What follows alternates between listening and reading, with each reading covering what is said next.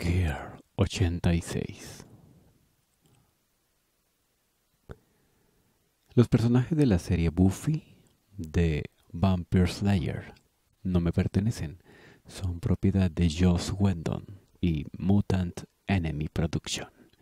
Yo solo los tomo prestados en esencia, a veces para crear con ellos historias sin fines lucro, en especial a Buffy y Spike, porque son una de mis parejas favoritas de la televisión. Escrito por The Moonlight Girl 86. Romance de oscuridad. Él estaba contemplándola al dormir. Le gustaba hacerlo después de solazarse con ella en sus apasionados encuentros y caer rendidos. Se imaginaba a veces que Ángel también había haberlo hecho alguna vez, y aquello le hacía hervir la sangre de celos. Ella era tan joven, de apariencia delicada y pequeña, pero por dentro era un infierno de mujer, una guerrera y una poderosa asesina, y él lo sabía mejor que nadie. Veintiún años recién cumplidos contra los ciento veinte que llevaba encima él. Una diferencia que reconocía abismal, pero que sin embargo no le importaba porque nunca en todo ese tiempo había encontrado a alguien que le deslumbrara en realidad por completo. Nadie a quien hubiese deseado tanto poseer un cuerpo y un alma al punto de buscar redimirse a sí mismo y de querer permanecer a su lado sin que aquello tuviese que ver con la responsabilidad, el apego o la costumbre. Lo que sentía era un encantamiento natural. Simplemente porque ella, con su valiente forma de ser, con su perspicacia y lealtad, había conseguido profundamente enamorarlo, haciéndole variar de su objetivo inicial, de aniquilarla, al de conquistarla logrando que su corazón inerte volviera a latir con pasión y que su espíritu perverso intentase encontrar el camino de la luz tan solo por seguir su estela. De verdad aquella mujercita que entonces tenía sus brazos debía ser mágica, porque no encontraba otra forma de describirla de lo tan especial que la encontraba.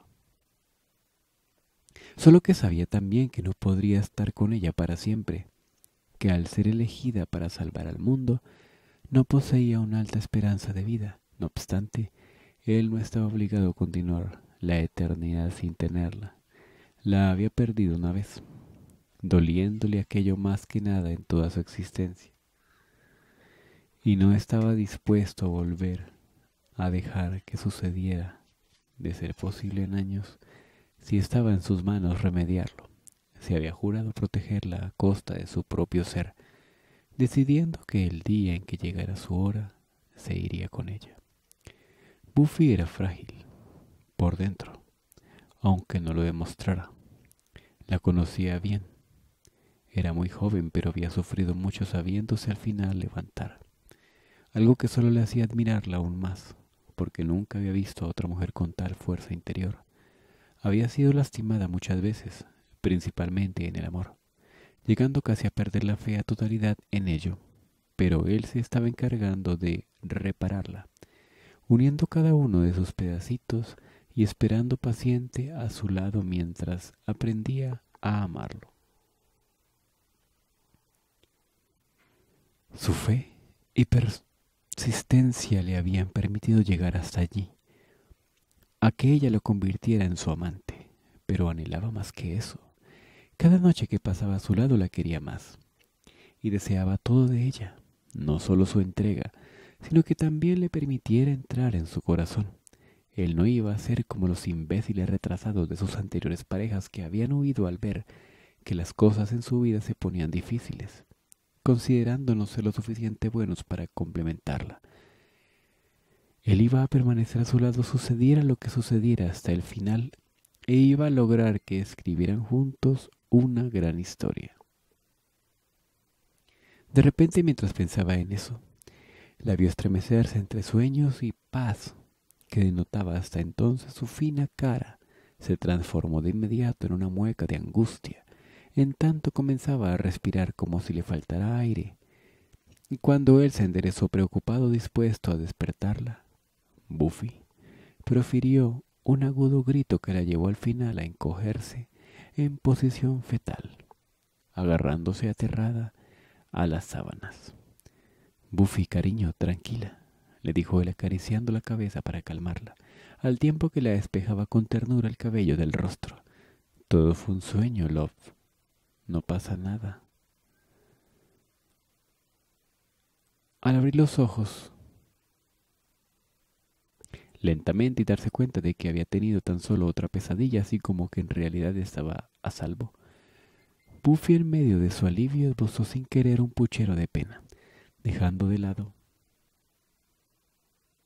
la desconfianza que le quedaba de él y de su pasado malévolo, y derrumbando la coraza interior con la que se armaba a sí misma para tratar de ocultarle sus verdaderos sentimientos tal como solía ocurrir por breves momentos después de que llegaran a la culminación de sus encuentros sexuales. Buscó cobijarse en sus brazos, temblando asustada, cual pequeña niña. Él la recibió encantado, contento de ser su refugio y el pilar en que pudiera apoyarse de forma incondicional siempre. Calma, nena, ya pasó. Le digo con voz apacible, frotándole la espalda desnuda para reconfortarla. ¿Otra vez el asunto de la condenada resurrección? Buffy no habló, solo asintió escondida en su pecho con vergüenza.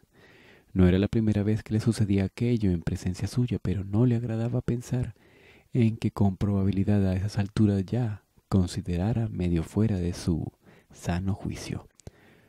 Aparte de que por nada del mundo quería que le llegase a comparar con la loca de su ex. Está bien, no pasa nada, Pet. Estás a salvo aquí, conmigo, y no voy a permitir que nada malo te ocurra nunca más. Considérame como tu demonio guardián. Profirió el rubio vampiro sin complicarse y muy convencido, inclusive sonriendo un poco de esa manera dulce y encantadora que ponía a veces y que a ella le fascinaba aunque no se lo dijera solo pesadillas que irían disminuyendo con el pasar de los años, pero sé que en tu caso lo superarás pronto. Mi Slayer es fuerte, expresó levantando un puño con buen ánimo. Buffy tan solo se atrevió a mirarlo de reojo, Todavía pesadumbrada, más terminó animándose a levantar por completo la vista al sentir que él le acariciaba dulcemente la parte superior de la cabeza, jugueteando al descuido con sus cabellos que bien sabía que para entonces debía estar espantosos de los desordenados. Y, sin embargo, la oración con la que contemplaba la hizo saber que de ser así no le resultaba de importancia. Desde su silencio cargado de emociones se lo agradeció. Lo siento, profirió al fin con la inseguridad, abordando su voz. No quisiera que me vieras cuando esto pasara. Debe ser como un trabajo adicional para ti el tener que lidiar conmigo. ¿De qué hablas, Love? Pensé que a estas alturas ya estabas al tanto de que para mí es como haber alcanzado el jodido cielo, el poder estar a tu lado respondió Spike, sin vacilar mientras ella no podía creer cómo sus malos tratos y complicaciones era capaz de seguir queriéndola de esa manera. Aquello le hizo bajar un instante la cabeza a causa del remordimiento. Empero otra vez como si lo percibiera. Él estiró su mano para agarrarle el flequillo dejándole en claro que de esa sencilla forma que no le guardaba resentimientos y la devoción que en lugar de eso Buffy encontró dentro de esos ojos que le profería. Le causó al final de cuentas timidez. Spike no estaba tratando de engañarla. No estaba intentando enamorarla para conseguir poder sobre ella y luego acabarla. Ya empezaba a hacerse la idea, por lo tanto, todo lo que decía sentir debía ser real. Hacia aquello fuera en contra de los conceptos vampíricos que aprendiera. Confundida, había llegado a un punto de decirse a sí misma que tal vez él era un caso especial, y por ello empezaba a querer retribuirle un poco de todo ese intenso apasionamiento que le brindaba. Meditando aquello por esa noche decidió deshacer el resto de sus barreras para acurrucarse totalmente junto a él en vez de levantarse de inmediato y vestirse para volver a su casa. Como tenía costumbre hacer, relajada, colocó de nuevo la cabeza sobre su pecho y rodeó con suavidad con el brazo. Se sentía tan bien estar así arropada bajo las sábanas a su lado, sintiéndose querida disfrutando de esa íntima comodidad, mitigando en el frío su piel vampírica, sus tormentos, como si se tratara de un efecto anestésico. Cuán lejana para entonces le parecía la noche en que él, al querer realizar un hechizo para regresar con Drusilla, la asombrara con lealtad y la profunda adoración que le profesaba a dicha vampiresa, ocasionándole su accionar en el fondo una pizca de envidia, por desear que algún día Ángel o en el último de los casos alguien más la quisiese así. Y ahora estaban allí ellos dos en medio de una tregua, si así podía llamarse, y le resultaba increíble de asimilarlo. Spike depositó un beso sobre su frente y luego esbozando un ronroneo de satisfacción apoyó a su vez su cabeza sobre la suya. La luz de la luna irrumpía a través de las polvorosas claraboyas de la cripta, permitiendo a Buffy admirar entre las sombras su piel de blanco marfil en contraste con el suave bronceado de la suya, al igual que la mitad del perfil de su bello rostro anguloso. Todo él pareciéndole un ángel caído y evocándole el mito griego de Cupido en la parte en que Psique la mortal, que raptada y de la cual se había enamorado, descubría cómo era su apariencia, cómo era la apariencia del amante misterioso que poseía todas las noches en la oscuridad sin concertirle verlo, y del que se había terminado enamorando también sin poder remediarlo. Aquello curiosamente le llevaba a pensar además con cierta gracia en cuán contenta se pondría Willow de enterarse que si recordaba bien las clases de literatura del primer año de la universidad, con un suspiro en resumen, Buffy advirtió que debía para entonces ser de madrugada, pero aún así no quería irse. ¿En qué piensas? Se animó a preguntar al tiempo que acariciaba el brazo de su vampiro con cariño. Queriendo saber qué cosas acontecían por su rizada cabeza, y que con tal como ella durante varios minutos había preferido no mencionar nada optando solo por disfrutar el momento que quizás también encontraba perfecto.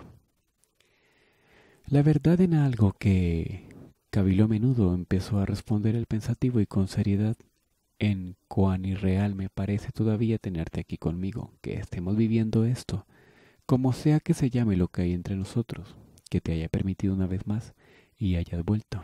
Una repentina expresión pesarosa asomando en su rostro junto con su mirada azul extraviándose en el vacío, le demostraron a Buffy cuánto le costaría hablar de lo último, lo cual en otra ocasión ya le había confesado como la etapa más amarga, sombria y desesperanzada de su existencia.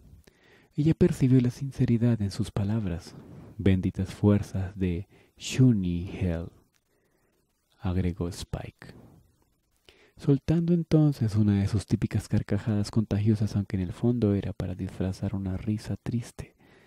Buffy lo sabía. No mucho después, más calmado y mirando el techo, expresó en hondo suspiro por las muchas cosas que tenía por decirle sin ponerse de acuerdo por dónde comenzar. Cuánto quisiera, Pet, llevarte a un viaje largo, lejos de aquí, muy lejos, apartarte de todas tus preocupaciones, de los problemas, de las obligaciones, diarias que te atan, irnos solos tú y yo, te haría bien, profirió despacio. Buffy guardó silencio escuchándolo, viendo su delgado pero fornido pecho subir y bajar a causa de la emoción contenida, que le confirmaba lo mucho que se preocupaba por ella y procuraba cuidarla, tal vez tanto como lo hiciera por Drusilla. En sus épocas más ellas ya sabía diferente y no quería ser jamás como esa vampiresa loca. Además de que no quería tampoco darle esa labor. No puedo decir que no me agrada Spike, Pero sabes que por más que quisiera, no podría permitirme ese lujo. El cargo de cazadora me perseguiría hasta el final, hasta el fin del mundo, hasta el final de mis días, y no me gustaría huir de mis responsabilidades. Es mi deber afrontarlas, así sean peligrosas, contestó. Imaginaba que responderías algo como eso. Si no pensaras así, no serías tú misma, Spike admitió moviendo la cabeza en resignación. Sin embargo, te agradezco que te preocupes por mí. Buffy musitó al tiempo que subía despacio y con sensualidad una mano acariciante sobre su musculoso torso, y él se la detuvo cuando le llegó al pecho para colocarle un beso sobre el terso dorso, acción que repitió luego al voltearse en la muñeca, en el punto donde podía sentirse el pulso y bien podría alimentarse de su sangre si quería. Mas no lo hizo porque lo único que deseaba era continuar con ella así, por siempre, y protegerla e intuía que Buffy a esas alturas ya lo sabía. ¿Cómo quisiera vampirizarte para poder pasar el resto de la eternidad contigo? Si tan solo me lo permitieras, recorreríamos el mundo y cada cierta cantidad de años conseguiría una bonita cripta para los dos con una cerca blanca en el cementerio que tú quisieras, para que pudiésemos vivir sin que nadie nos moleste. Además, de que seguro sería la vampira más hermosa y letal de la historia. Comenzó a soñar haciéndole a ella aflorar su ternura. Solo que entonces ya no sería la misma. Me convertiría en un demonio, Buffy opinó recordándole que al renacer como un vampiro el carácter de quien había sido la persona en vida varía, volviéndose oscuro. Es cierto, habría un demonio viviendo junto a mi Buffy. Spike corroboró ocupándose de acunarla mejor entre sus brazos. Yo mejor que nadie debería tenerlo en cuenta, pero sé que podrías controlarlo pronto y que no, te sería difícil vencer de vez en cuando a tu maldad. ¿Cómo puedes estar tan seguro? consultó ella misma, escéptica. Porque tengo fe ciega en ti, contestó él acariciándole el rostro sin un asomo de duda, con sus bellos ojos deslumbrantes que no le permitían mentir clavados en los verdes suyos, brillando en la oscuridad una simple respuesta que sin embargo a Buffy le hizo estremecer, causándole un nudo en la garganta. Pero en tu mundo jamás me perdonaría mi pasado. Sería perseguida como una criminal, ¿no es cierto? No se contuvo de consultar por qué tenía claras las cosas. Yo no permitiría que nada malo te pase. Te protegería con mi propio ser, argumentó Spike. Lo sé, profirió Buffy haciendo sentir bien por unos instantes, mas no podía engañarlo dándole falsas esperanzas. Pero bien sabes que no está en mis planes convertirme en vampiro. Aun a pesar de no contar con una larga esperanza de vida, estoy consciente de que es muy probable que ni siquiera llegue a los treinta, menos aún a tener nietos. Sin embargo, aun con todo, quiero arriesgarme a vivir lo que me depara el destino, de la forma más normal posible. ¿Comprendes? Lo mencionado con anterioridad es un factor que viene incluido en el paquete de dones y características de una cazadora. Y no me queda más que aceptarlo. Trato de explicar dónde su punto de vista. Sé también por lo mismo que no debería tener tanto miedo de que llegue a mi final. En especial después de haber pasado por aquello dos veces pero me resulta difícil y por ello intento prepararme psicológicamente para afrontarlo tal como me preparo cada día para la batalla. Así cuando llegue el momento estaré lista para la tercera vez, que espero sea la última, concluyó con valentía, tratando de ocultar el temblor en su voz producto de lo difícil que se le hacía también conversar de aquello. Spike, que por su parte Casi tuvo que morderse la lengua para no interrumpirla en el instante en que empezó a hablar de la muerte. Pero por eso, de su esfuerzo al abrirle el interior de su alma, se contuvo. Le pareció llegar a entenderla así aún más. La abrazó en respuesta muy fuerte, besándole la coronilla. Sabía que acostumbraba a negar o maquillar las cosas que le ponían mal, pero la conocía bien y sabía por lo tanto también cuánto le pesaba llevar el oficio de cazadora sobre sus hombros teniendo que sacrificar su tranquilidad y su juventud para salvar la vida de otros. Yo permaneceré a tu lado e intentaré retrasar lo más que pueda ese día. Te prometo, y cuando llegue me iré contigo. No permitiré que esta vez vayas al encuentro de la muerte sola. Fue un juramento de honor de un caballero hacia una dama. Ella escondida en su abrazo luchando por calmar su corazón y no llorar, que al final le resultó imposible. Así lo percibió. Ninguno de los dos volvió a decir nada más hasta que ella logró calmar sus sollozos. Varios minutos después, gracias a la paciencia de él y la seguridad que ahora le infundía, llevándosela a meditar incluso entre sus últimos pensamientos, cuerdos antes de que el sueño la alcanzara, en que no estaría mal el dejarse querer de esa manera más a menudo. Buffy no supo en qué momento se quedó dormida luego de que su respiración se apaciguara, solo que se espabiló rato después al sentir a Spike. Se parara con cuidado de su costado y se incorporara en la cama, percibiendo entonces la falta que le hacía su cuerpo al lado del suyo. Abrió los ojos perezosamente para ver lo que iba a hacer y encontró sentado mirando el vacío. Notándose entre las sombras preocupado y triste, algo que reafirmó al verle pasarse las manos por el cabello rubio, nítido, como si estuviese sopesando qué hacer frente a un gran problema. Fue así que pestañando para alejar el letargo y prestando mayor atención, pudo escuchar que también estaba sollozando de forma casi imperceptible para no despertarla. No hizo falta que le confesara que le aquejaba después adivinaba que era por su causa, porque no quería perderla una prueba más que le demostraba cuánto la amaba, aquello que se empeñaba en no ver.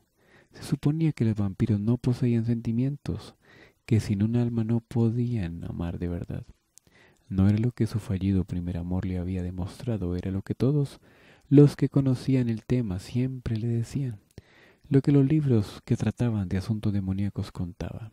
Pero ella constataba que Spike, el temido y legendario William, el sangriento era un caso aparte, era muy diferente. De verdad la adoraba siendo alguien dispuesto a quedarse a su lado a pelear por ella. Con estupefacción terminó de entenderlo esa madrugada. Una tristeza compartida y una inmensa ternura se despertó en su ser llevándole a sentir unas enormes ganas de abrazarlo y su corazón, conmovido, comenzó a latir de nuevo con velocidad en el transcurso tal como sucedía antes de quedarse dormida, haciendo que él, que podía escucharlo con claridad con sus dones de vampiro, secándose las lágrimas con rapidez, volteara a ver extrañado. Buffy inquirió para saber si estaba lúcida. Ven aquí, Spike. Le pidió entonces ella en un susurro, abriéndole los brazos a lo que él no se hizo de rogar correspondiendo enseguida a su requerimiento apretándola fuerte contra sí y perdiéndose en sus besos. Te amo, le dijo en voz Lo sé. Ella se encargó de sacarle con sus manos y labios las húmedas mejillas, confesándole con la buena disposición de su cuerpo junto a sus caricias y apasionados movimientos, lo que no dejaba que su voz gritara. Esa madrugada hicieron el amor en todo el sentido de la palabra, una buena manera de comenzar a modificar sus encuentros de sexo salvaje, rutinarios, al inmiscuir en ellos el corazón.